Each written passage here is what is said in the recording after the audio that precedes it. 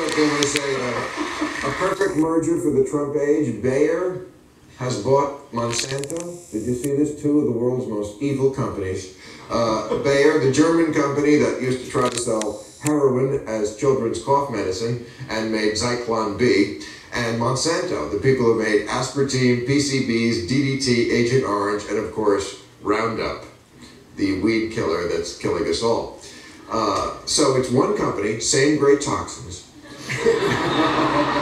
But they're just going to call themselves Bayer, losing to Monsanto. And here are some of the new slogans they're trying to rebrand themselves with.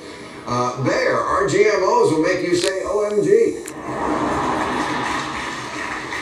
And Bayer, we don't just make the aspirin for your headache, we make the chemicals that caused your headache to begin with.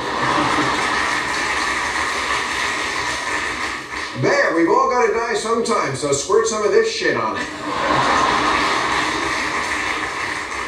Bayer, because your immune system is getting cocky. We didn't cause your child's allergies. We made the chemicals that, okay, we caused your child's allergies. Notice you haven't been stung by any bees lately? That's because we killed them all. You're welcome. The folks who make Roundup are teaming up with the folks who are good at rounding people up.